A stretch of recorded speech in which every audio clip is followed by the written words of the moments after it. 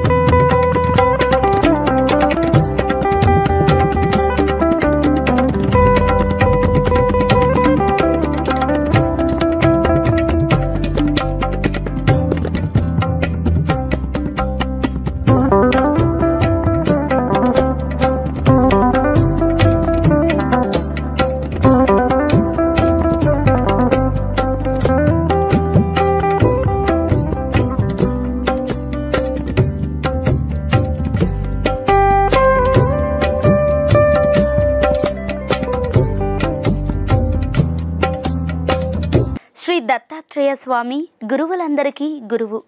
ఆయన భారతీయ గురువులందరికీ మార్గదర్శనం చూపిన సాక్షాత్తు త్రిమూర్తుల అవతారం. ఆయన యోగ మార్గం ద్వారా భగవంతుణ్ణి ఎలా చేరుకోవాలి?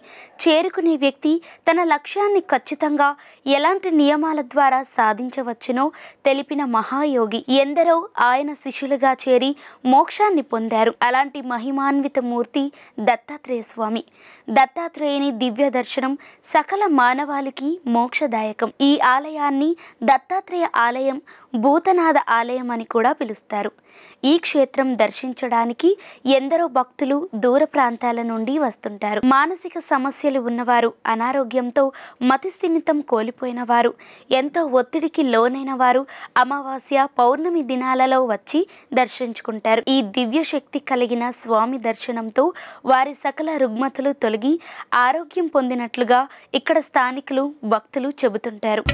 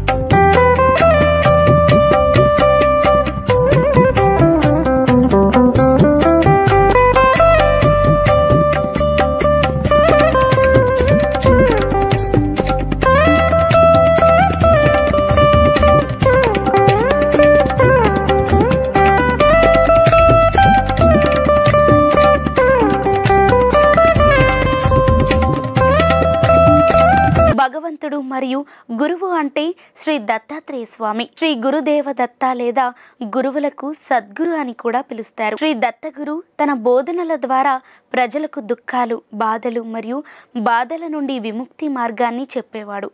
దత్త అంటే నిలబడడం కట్టుబడి ఉండడం.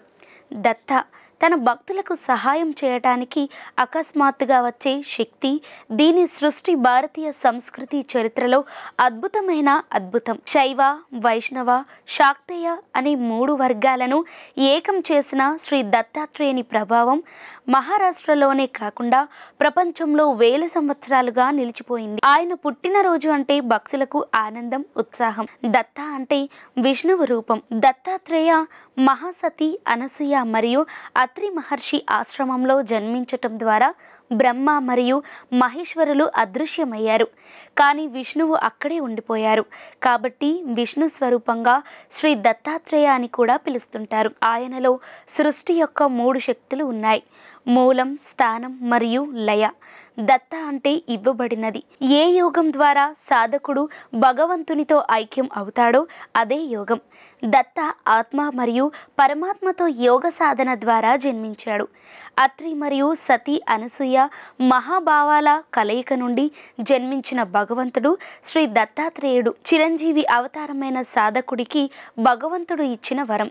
శ్రీ దత్తాత్రేయ శిష్యులు సహస్రార్జున కార్తవీర్య భార్గవ పరశురాముడు యదు అలర్క ఆయు మరియు ప్రహ్లాదుడు దత్తాత్రేయ భగవానుడు ఈ విశ్వంలో వివిధ రూపాల్లో ఉన్న ఇరవై నాలుగు మందిని తన గురువుగా భావించాడు. భూమి గాలి నీరు అగ్ని ఆకాశం సూర్యుడు చంద్రుడు కీటకాలు పావురం డ్రాగన్ సముద్రం పక్షి సుడిగుండం తేనెటీగ ఏనుగు జింక చేప వేశ్య తిదారి కంకణం విలుకాడు పాము మత్స్యకారుడు బాలుడు. వీటి ద్వారా ఆయన వీటిలో ఉన్న సుగుణాలను గ్రహించి గురువులుగా భావించాడు.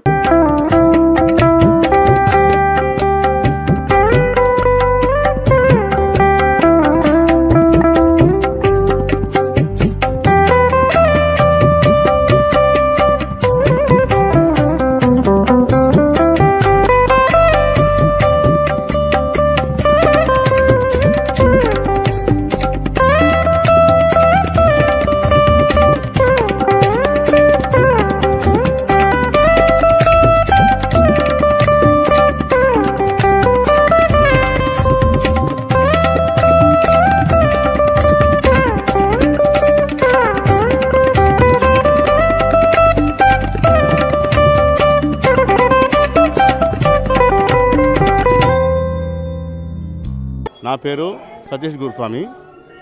నేను ఈ గుడికి చిన్నప్పటి నుంచి వస్తున్నాను. మేము ఇక్కడ స్వయం భూగా భావిస్తాము. ఇక్కడ వచ్చి ఏ కోరికలు కోరుకున్నా కూడా పరిపూర్ణంగా తీరుతాయి అని మా నమ్మకము ఇక్కడ భక్తుల విశ్వాసము. ప్రతి ఏడు ఉత్సవాలకు వేలాదిగా పబ్లిక్ కళలు వస్తారు.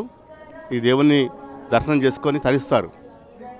గానగాపూర్కి ఎంత విశిష్టత ఉందో అంత విశిష్టత ఈ టెంపుల్ కూడా ఉన్నది. మేము స్వయంభూగా భావిస్తాం కాబట్టి ఇక్కడ జరిగే ప్రతి ఒక్క సేవకు మేము వచ్చి దర్శించుకొని పోతూ ఉంటాము. జనాలు కూడా చాలా వస్తూ ఉంటారు. ఇది సీతారాంబాగ్లో ఒక మకుటామానంగా వెళ్తున్న గుడి ఇది పర్వతం పైన.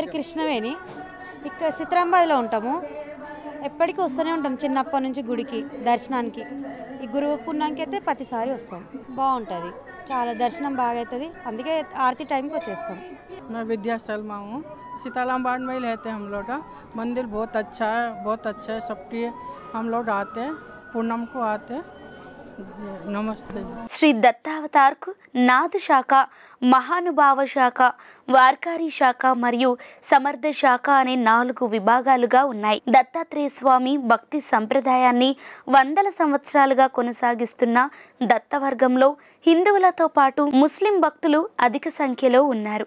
ఈ క్షేత్రానికి అందరూ వచ్చి వారి కోరికలను స్వామివారికి మొరపెట్టుకుంటారు. మహా మహిమాన్విత శక్తి స్వరూపంగా భక్తులు భావిస్తారు. సుమారు నూట యాభై మెట్లను ఎక్కి స్వామి ఆలయానికి భక్తులు చేరుకుంటారు. ఆలయం మెట్ల దారిలో గుట్టపై ఎన్నో పుట్టలు నాగప్రతిమలు దర్శనమిస్తాయి. వాటికి నమస్కరించుకొని స్వామి దర్శనం కోసం గుట్టపైకి చేరుకుంటారు. ఆలయ ముఖద్వారం ఇరువైపులా గరుడ ఆంజనేయ స్వామి వర్ణ చిత్రాలతో ఉంది. ఆలయ ముఖద్వారం బంగారు కాంతులతో స్వర్ణమై తాపడం చేయబడి ఉంటుంది. గర్భాలయంలో శంఖ చక్రాలతో అభయవరద హస్తాలతో దత్తాత్రేయ స్వామి దివ్య దర్శనాన్ని భక్తులకు అనుగ్రహిస్తున్నాడు.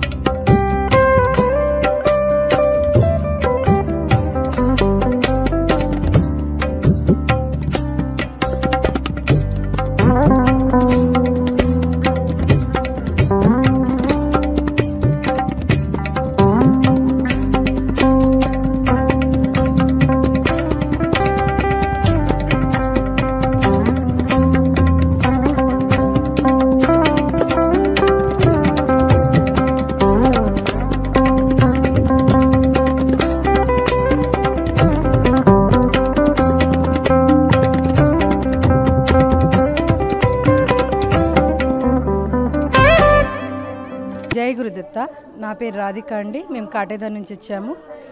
ఈరోజు దత్త పున్నమి సందర్భంగా దత్తాత్రేయ జయంతి సందర్భంగా దత్తాత్రేయ కాలనీలో ఉన్న ఈ దత్త భగవాన్ గుడికి మేము వచ్చామండి. నిన్న యూట్యూబ్లో మేము చూసాము చూసి ఫస్ట్ టైం మేము వచ్చాము ఇక్కడ. ఇక్కడ గాన్గాపూర్లో ఎలా ఉన్నారో దత్తాత్రేయ స్వామి గారి మహిమ ఇక్కడ కూడా అలాగే ఉందని మేము విని ఇక్కడ స్వామిని దర్శించాలని మేము ఈరోజు వచ్చామండి. ఈరోజు మా హస్బెండ్ గారి బర్త్డే కూడా అదే సందర్భంగా దత్తాత్రేయుని దీవెనలు తీసుకోవడానికి ఆశీర్వాదాలు పొందడానికి మేము ఇక్కడ వచ్చామండి. ఇది చాలా ఐదు వందల ఏండ్ల పురాణమైన గుడి అని విన్నాము. ఇక్కడ త- దత్తాత్రేయ స్వామి గారి మహిమలు చాలా ఎన్నో ఉన్నాయని విన్నామండి. అందుకే ఇక్కడ మేము విచ్చేసాము.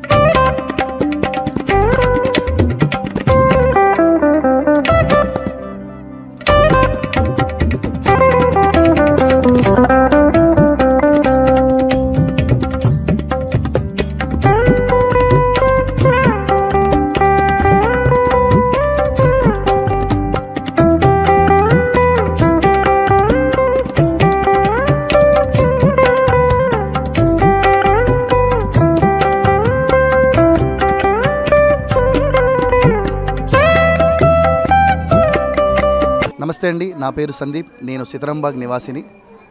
ప్రస్తుతం మనం చూసినటువంటి ఈ దేవాలయం జై గురుదత్త మన దత్తాత్రేయ స్వామి దేవాలయం సీతారాంబాగ్ ఏరియాలో ఉంది.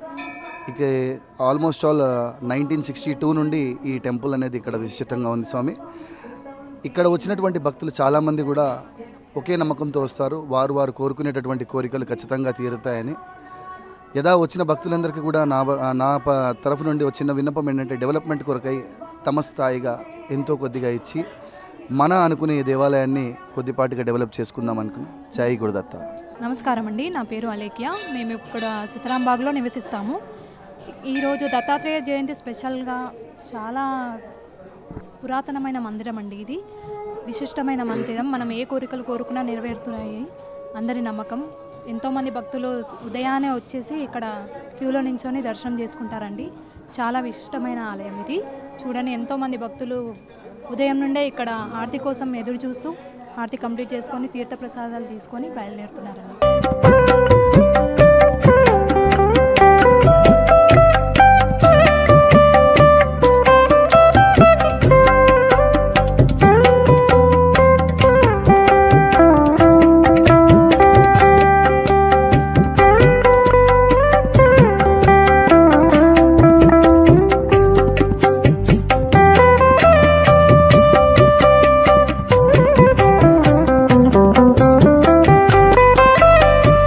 పేరు అనిల్ కుమార్. నేను ఉండేది సీతారాంబాగ్ దత్తాత్రేయ స్వామి టెంపుల్ మేము రెగ్యులర్గా థర్స్డే థర్స్డే కంపల్సరీ. ఒకటి చాలా పాత టెంపుల్ ఇక్కడ. ఇప్పుడిప్పుడే మేము కొంచెం డెవలప్మెంట్ కూడా స్టార్ట్ చేసాము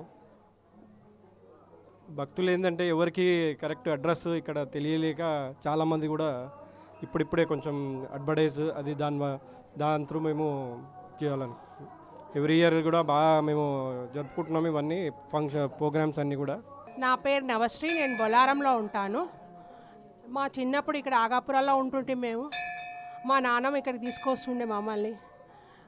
ఏదైనా స- సబ్జెక్ట్ ఫెయిల్ అయినా పెళ్ళి కాకుండా ఇక్కడికి వస్తుంటివి గంగాపూర్ తర్వాత నెక్స్ట్ ఇదే దత్తాత్రేయన్ టెంపుల్ అని మా నాన్నమ్మ అంటుండే. మేము వస్తుంటిమి నేను ఇవాళ దత్త జయంతి అని అక్కడి నుంచి ఇక్కడికి వచ్చాను.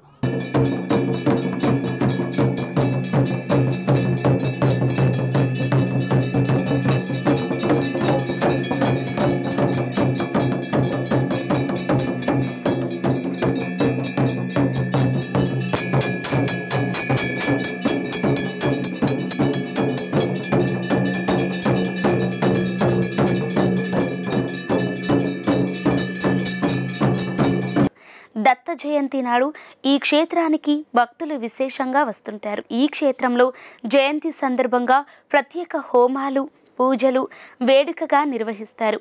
ప్రతి గురువారం ప్రతి నెల వచ్చే అమావాస్య పౌర్ణమి రోజులలో ఈ ఆలయం భక్తులతో నిండుగా ఉంటుంది. ఎంతో పవిత్రత చారిత్రక యథార్థ గాథలకు ప్రతీకగా ఈ క్షేత్రం బాసిల్లుతోంది. హైదరాబాదు వచ్చే యాత్రికులు సందర్శకులు తప్పనిసరిగా దర్శించదగిన దత్తక్షేత్రం. నగరంలో ఉన్న ప్రతి ప్రాంతం నుండి ఈ దేవాలయానికి చేరుకోవటానికి ఎన్నో సౌకర్యాలు ఉన్నాయి. సులభంగా ఈ క్షేత్రానికి చేరుకొని స్వామి దర్శనం చేసుకోవచ్చు.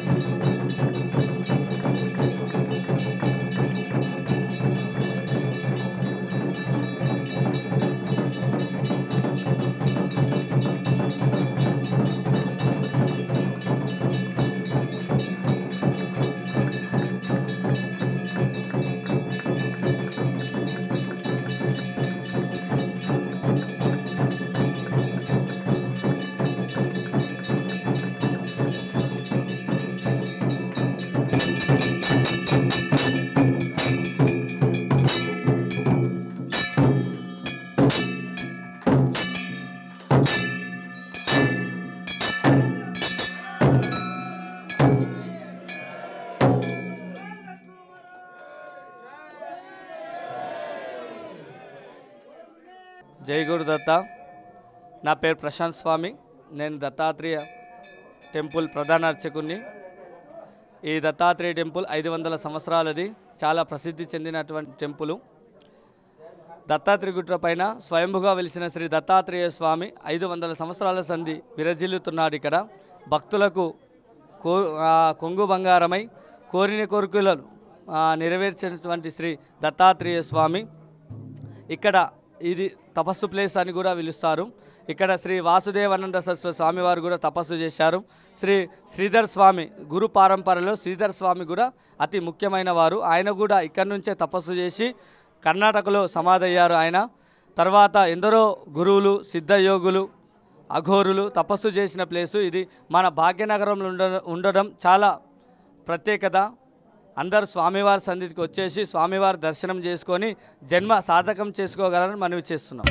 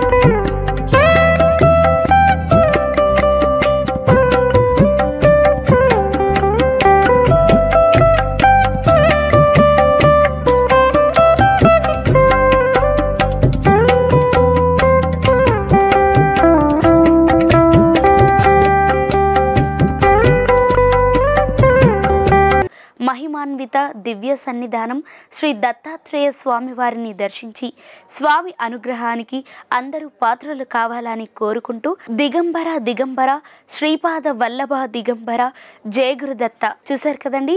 ఇది ఇవాల్టి ఆలయ దర్శనం కార్యక్రమం.